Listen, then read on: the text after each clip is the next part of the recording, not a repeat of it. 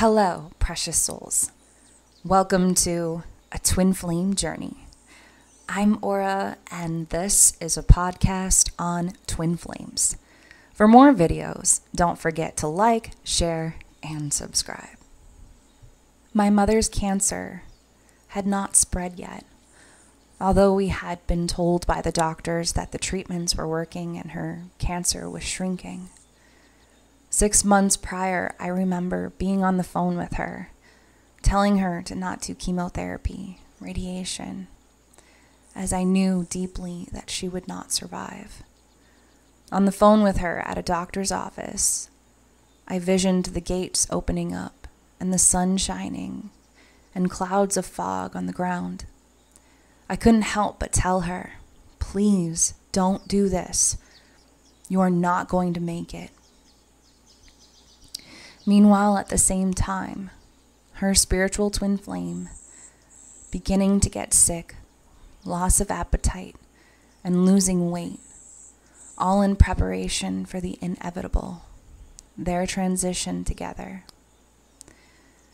Meanwhile, at her appointment, a blood relation in the background saying, You need to do these treatments completely aware of what Aura was saying on the phone, aware of the results, and aware of what was going to happen. A couple months had passed as Aura sat quietly during one of her treatments.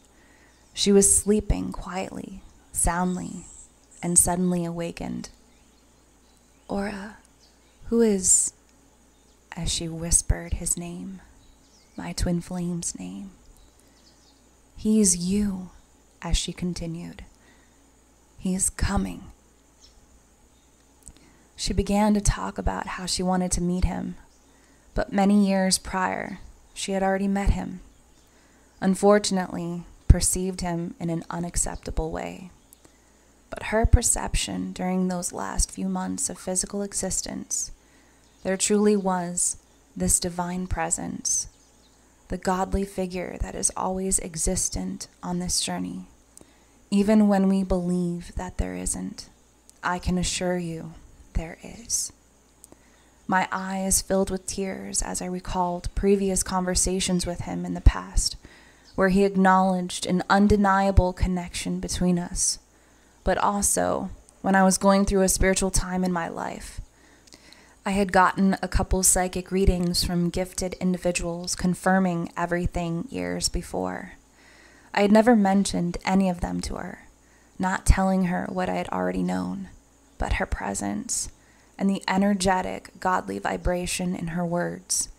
I knew I would never need the external validation of any of it who or what I was, or even who my twin flame is although there is always the need to validate, to confirm everything we are feeling, we are enduring.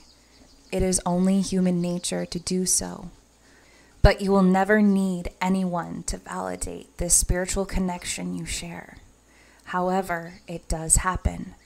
The validation will only occur through godlike situations, divinely guided experiences, and through angelic presence.